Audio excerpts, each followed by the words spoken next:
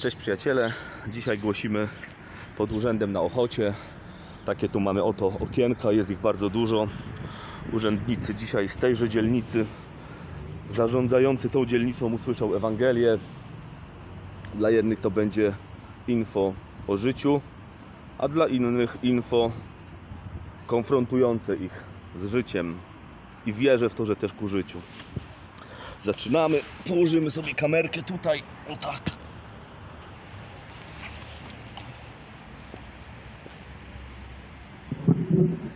Aleluja! Niech będzie wywyższony Jezus Chrystus. Niech będzie wywyższone Jego święte. Niech Jego imię zaświeci teraz. Ja ogłaszam to, że święte imię Jezus będzie teraz świecić wśród tych, którzy słuchają prawdy.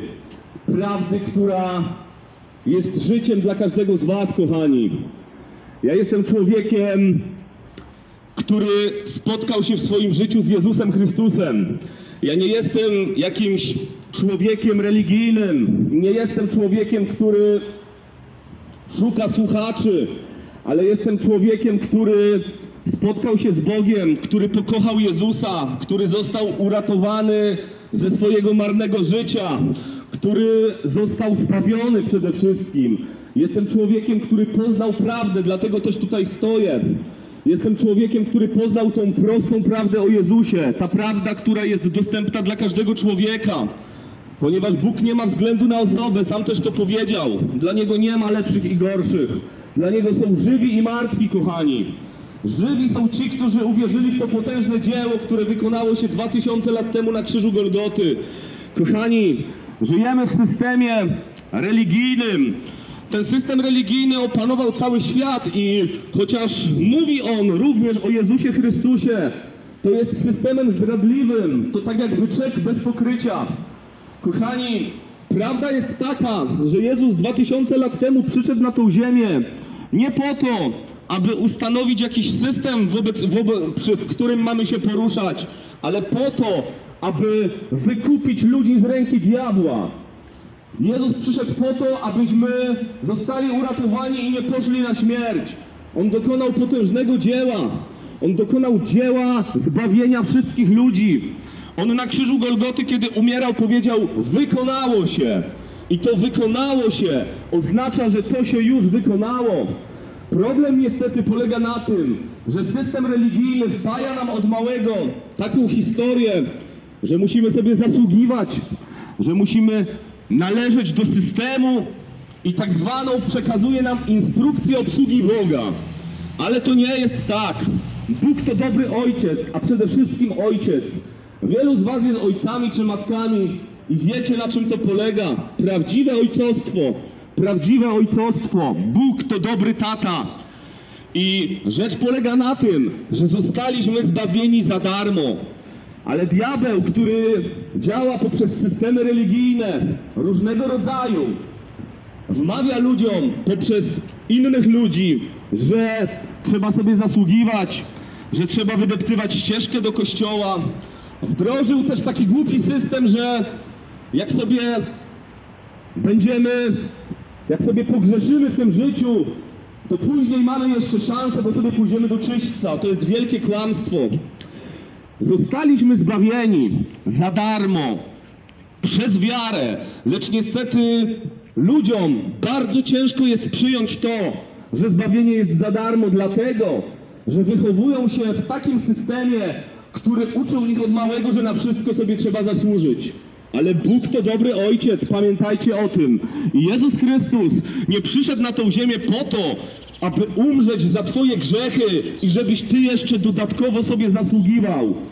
Bo kiedy sobie zasługujesz dodatkowo, to znaczy, że Jego ofiara jest dla Ciebie nieistotna, ponieważ Jego ofiara, czyli Jego śmierć, jest wymazaniem całego listu dłużnego, czyli naszych grzechów, po to, abyśmy nie poszli do piekła.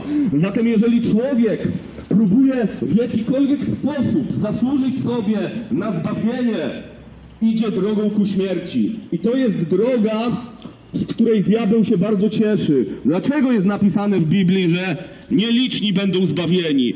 Nie dlatego, że trudno być zbawionym, właśnie dlatego, że łatwo być zbawionym, właśnie dlatego, że ludzie nie wiedzą, że to zbawienie jest za darmo, właśnie dlatego, że ludzie błądzą, myśląc, że wydeptują sobie ścieżkę do kościoła, zyskają jakąś przychylność Bożą. Nie, kochani, Prawda jest taka, że miłość, miłość, Bóg pokazał nam miłość w ten sposób, że przyszedł na tą ziemię, aby nas uratować, bo należało się nam tylko kara śmierci. Kara śmierci za nasze błędy, za to, że odwróciliśmy się od Boga, za to, że uznaliśmy, że będziemy sobie niezależnie w życiu radzić, za to, że uznaliśmy, że nasze uczynki mogą zaskarbić sobie nasze miejsce w niebie. To błąd ludzkości. A ja jestem człowiekiem, który dzisiaj tutaj stoi i mówi Ci tą prawdę, i z tą prawdą człowiek zosta- i z tą prawdą zostaniesz skon- skonfrontowany tak naprawdę po śmierci. Jestem dla was błogosławieństwem. Jestem dla was błogosławieństwem, ponieważ możecie, ma, macie w życiu, kochani, okazję usłyszeć, jaka jest prawda. Usłyszeć o tym, że zbawienie jest za darmo. Jeśli tylko w to uwierzycie, ono się już wykonało. Nie można na nie zasłużyć. Nie da rady. Nie da rady. Człowiek przez całe życie buduje sobie takie zrozumienie, że wydeptując ścieżkę do kościoła, robiąc dobre uczynki, jakoś sobie to zbawienie przybliży. Niestety, jest napisane, przeklęty każdy, kto pokłada nadzieję w człowieku. Nie możemy pokładać nadziei w nikim, ponieważ Jezus przyszedł i dokonał tego dzieła osobiście dla każdego. Więc osobisty należy się za to szacunek, osobista wdzięczność. Ja kiedy narodziłem się na nowo, stałem się prawdziwie wdzięczny. I wiecie, co jest napisane w Biblii, bo ja nie wiem, czy ją czytacie. Ja czytam, bo to słowo mojego Boga.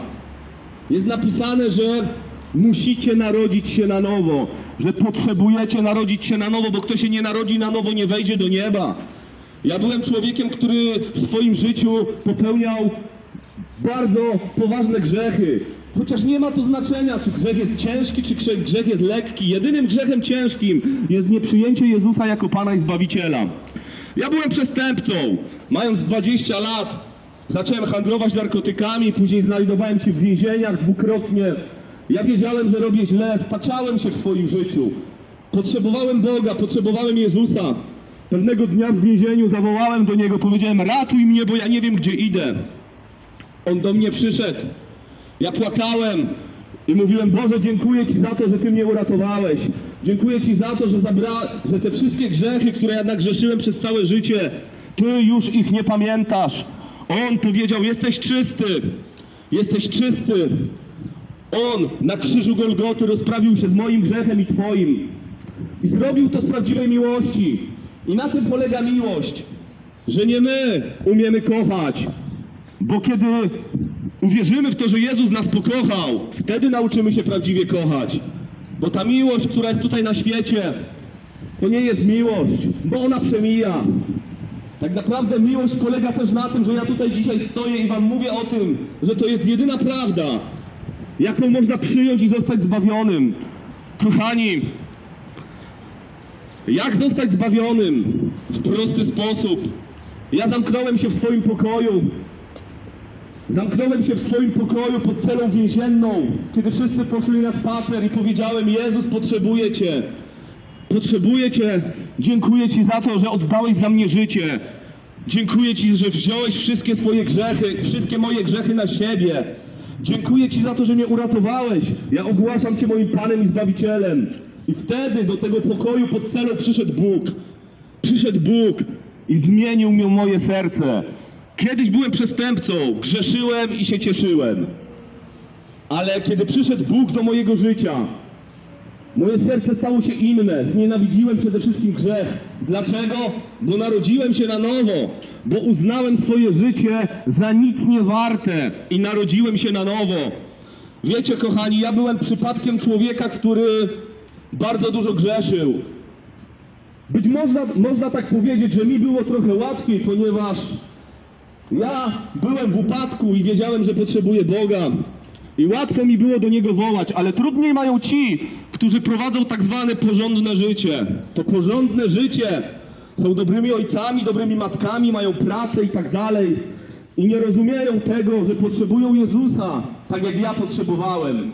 Nie ma znaczenia, czy jesteś tak zwanym dobrym człowiekiem, czy jesteś alkoholikiem, który śpi pod ławką. Każdy potrzebuje Jezusa tak samo, a Bóg nie ma względu na osobę. Kochani, jeśli zamkniecie się w swoim pokoju i wezwiecie Jego imienia, powie, przeprosicie Go, że żyliście bez Niego całe życie, że mieliście inne zrozumienie, podziękujecie Mu za to, że za Was umarł, że zmartwychwstał, ogłosicie Go swoim Panem i Zbawicielem, to będziecie zbawieni. To jest cała prostota Ewangelii. Ewangelia jest prosta, bo to Ewangelia, którą daje Bóg, a to, co daje Bóg, jest zrozumiałe. A wiecie dlaczego? Bo w Biblii jest napisane, że na tej drodze nawet głupi nie zbłądzi. Lecz niestety religia stworzyła system, którego my do końca nie rozumiemy. Czasem o żałość mnie przyprawia, kiedy rozmawiam z ludźmi z jakichś na przykład kościołów katolickich i chcę od nim czymś, o, oni, z nimi o czymś porozmawiać, ale oni się bardzo denerwują, ponieważ nie czytają słowa. Nie wiedzą, ale gdyby zaczęli czytać, wiele rzeczy zaczęliby rozumieć i zaczęliby zadawać pytania swoim kapłanom, dlaczego jest tak, a nie inaczej. Ale tego nie robią. Tego nie robią. Nie zwalnia cię z odpowiedzialności to, że nie masz, że, że jest w tobie niewiedza. Nie zwalnia cię to z odpowiedzialności.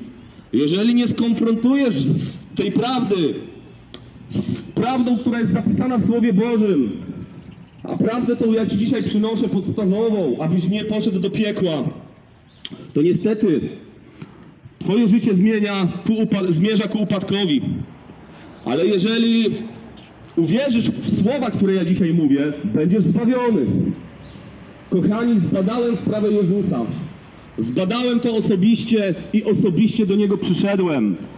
I dzisiaj wiem, że On zbawia tych i odpowiada tym, którzy do Niego przychodzą osobiście.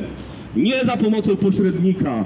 Bo Jezus nie umarł za grup, bo Jezus umarł za Ciebie osobiście. Więc dlaczego załatwiasz sprawy przez kogoś. Jezus Chrystus jest bezpośrednią bramą, przez którą można wejść i tak jest napisane w Biblii. Kto nie przechodzi przez tą bramę, jest złodziejem i bandytą. Kochani, zostawiam was z tym słowem. Jeżeli ktoś z was został dotknięty tym, co mówię, możecie do mnie zadzwonić, Możecie się do mnie odezwać poprzez Facebooka. Nazywam się Rafał Grodzki. Możecie mnie znaleźć pod imieniem i nazwiskiem Służba Ewangelizacyjna. Odpowiem Wam na każde pytania. Rafał Grodzki, Służba Ewangelizacyjna. Możecie też do mnie zadzwonić. Jeżeli chcecie być poprowadzeni w modlitwie, możecie to zrobić. Przyprowadzę Was do Jezusa, ale możecie też to zrobić sami. I zachęcam Was do tego jeszcze bardziej, abyście zrobili to sami zawołali do niego we własnym pokoju. Jeśli też ktoś z was ma na przykład chorobę jakąś, to 2000 lat temu, nie wiem czy wiecie, ale na Jezusa została wrzucona na krzyżu Golgoty każda choroba. I dzisiaj uzdrowienie jest dostępne dla każdego człowieka. Dla każdego. Więc jeśli jesteś chory, również się możesz ze mną skontaktować, a będziesz uzdrowiony. Amen.